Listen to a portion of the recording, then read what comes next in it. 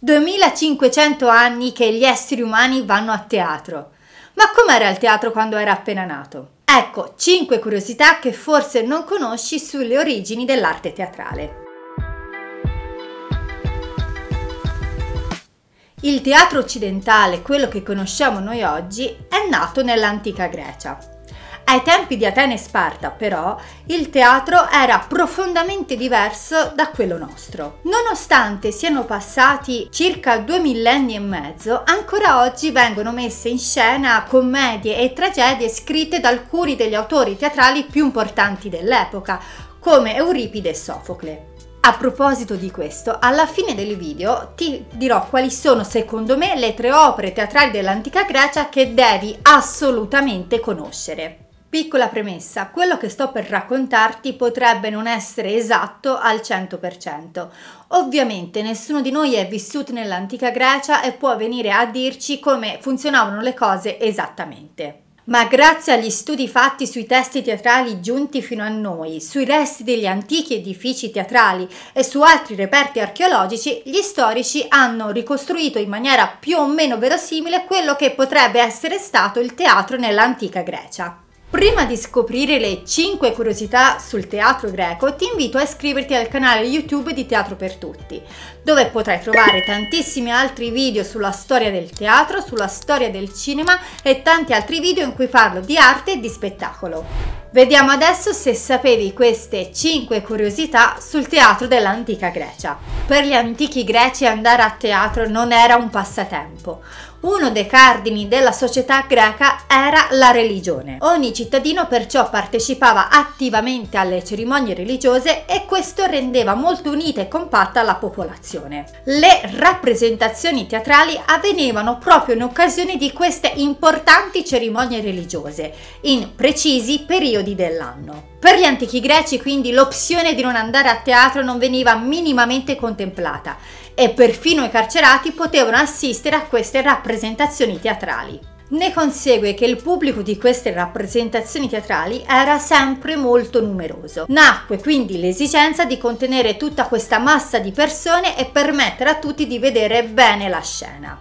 La risposta fu la costruzione dei grandi anfiteatri greci, adagiati sui fianchi delle colline per agevolarne la costruzione si diffusero rapidamente in tutta la Grecia e rappresentarono la prima forma di edificio teatrale con uno schema delle strutture ricorrenti. Per la società greca la religione era strettamente connessa alla politica. Le rappresentazioni teatrali smuovevano migliaia di persone, non solamente quelle che assistevano agli spettacoli, ma anche tutti gli addetti ai lavori. Erano quindi un'occasione d'oro per i politici per mettersi in mostra e farsi ben volere dal popolo. Le rappresentazioni teatrali venivano organizzate in primavera in modo che le condizioni del mare fossero favorevoli e permettessero perciò l'arrivo di altre persone fuori da Atene. Gli uomini politici e i cittadini più facoltosi facevano a gara per finanziare gli spettacoli migliori. Erano infatti consapevoli che legare il proprio nome ad uno spettacolo di successo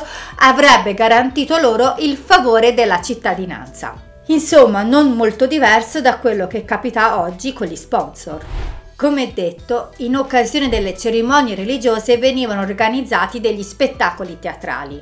Questi spettacoli teatrali venivano finanziati da cittadini facoltosi che ovviamente non volevano testi di seconda mano. Per questo motivo ogni spettacolo era scritto appositamente per una determinata occasione veniva rappresentata una sola volta in occasione di una grande premiere e non sarebbe mai stata più messa in scena. Nell'antica Grecia quindi non esisteva il concetto di replica e tantomeno quello di tournée. Perciò andare a teatro era ancora più suggestivo perché avevi la certezza di assistere a qualcosa di unico e irripetibile. Nell'antica Grecia ogni spettacolo avveniva all'interno di veri e propri concorsi teatrali. Gli agoni più importanti erano le Dionisie ad Atene. Duravano cinque giorni e alternavano le rappresentazioni teatrali ad altri festeggiamenti. Essendo celebrazioni dedicate al dio Dioniso non mancavano gli eccessi, il vino scorreva a fiumi